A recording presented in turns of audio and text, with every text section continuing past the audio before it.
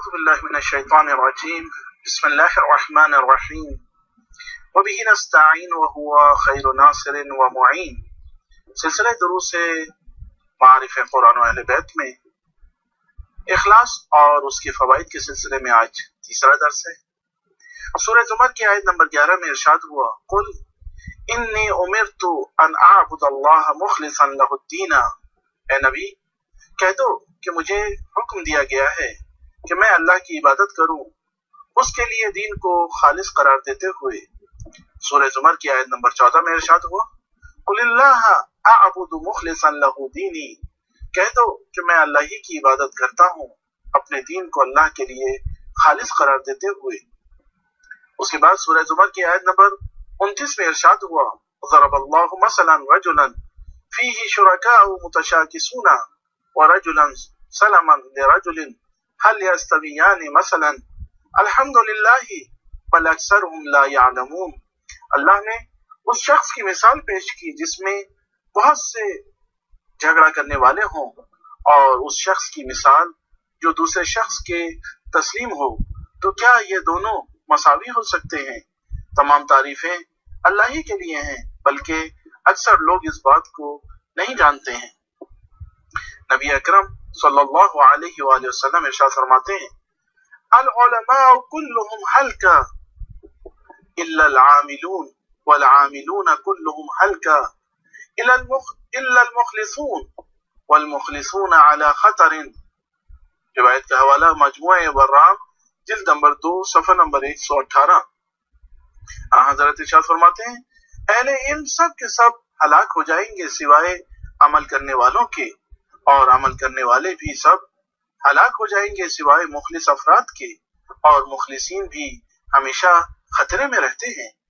دوسرے مقام پر نبی اکرم صلی اللہ علیہ وآلہ وسلم اپنے صحابی ابن مسعود کو مخاطب کر کے ارشاد فرماتے ہیں، یا ابن مسعود، اذا عملت عملا فعمل للہ خالصا، لأنه لا يقبل من عباده الأعمال إلا ما كان خالصا، فإنه يقول وما لأحد عنده من نعمة تجزى إلا ابتغاء وجه ربه الأعلى ولسوف يرضى۔ روایت کا حوالہ بحار الانوار جلد نمبر چوہتر، صفحہ نمبر ایک سو پانچ۔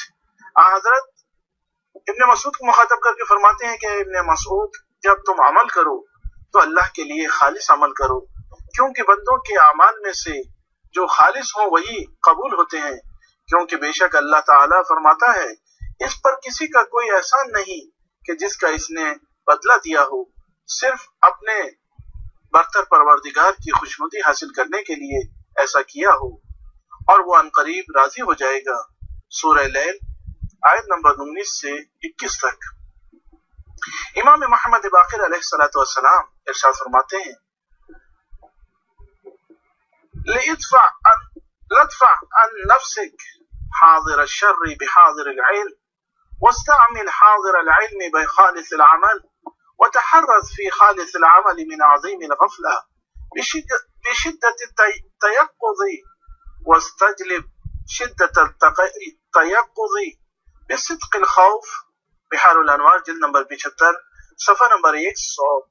باسٹھ إمام محمد باقر علیہ السلام فرماتے ہیں حضور علم کے ذریعے حضور شر کو اپنے سے دور کرو. حضور علم کو استعمال کرو خالص عمل کے ذریعے؟ اور آگاہ رہو خالص عمل میں شدید غفلت سے بچو، شدید بیداری کے ذریعے، اور شدید بیداری حاصل کرو سچے خوف کے ذریعے سے۔ مولا متقیان علی ابن ابی طالب علیہ الصلوۃ والسلام ارشاد فرماتے ہیں ليست الصلاة قيامك وقعودك إنما الصلاة إخلاصك وأن تريد بها الله وحده روایت کا حوالہ شرح نج البلاغہ ابن ابی الحدید، جلد نمبر ایک، صفحہ نمبر تین سو پچیس۔ مولا متقیان فرماتے ہیں، نماز تمہارے قیام و قعود نہیں ہے، بلکہ نماز اصل نماز تمہارا اخلاص ہے۔ اور تمہارا صرف اللہ وحدہ لا شریک کا ارادہ کرنا ہے۔ دوسرے مقام پر مولا متقیان ارشاد فرماتے ہیں، الاخلاص اعلی فوز و شیمت افاضل الناس وعبادة المقربين وثمرة العبادة واليقين وسادة اہل الجنة المخلصون. روایت کا حوالہ غرر الحکم، کلمہ نمبر تین، ہزار نو سو چار۔ مولانا متقیان فرماتے ہیں، اخلاص اعلیٰ درجے کی کامیابی ہے اور فاضل لوگوں کی روش ہے اور مقربین کی عبادت ہے اور عبادت و یقین کا ثمرہ ہے اور مخلص لوگ اہل بہشت کے بزرگوار ہوں گے۔ ایک اور مقام پہ مولا متقیان ارشاد فرماتے ہیں زورو فی اللہ و جالسو فی اللہ و آتو فی اللہ و امنعو فی اللہ و توب لمن اخلص للہ علمه وعمله وحبه وبغضه وعخزه وتركه وكلامه وصمته روایت کا حوالہ غرر الحکم کلمہ نمبر 3903 اور کلمہ نمبر 3905 مولا متقیان ارشاد فرماتے ہیں اللہ کی خاطر آپس میں ملاقات کرو اور اللہ ہی کی خاطر آپس میں مجالست رکھو اور اللہ ہی کی خاطر عطا کرو یا منع کرو اور خوش قسمت ہیں وہ افراد جنہوں نے اپنے علم و عمل و محبت و بغض و لین و دین اور کلام کرنے و خاموش رہنے کو اللہ کے لیے خالص کر لیا ہے۔ وآخر دعوانا ان الحمد للہ رب العالمین۔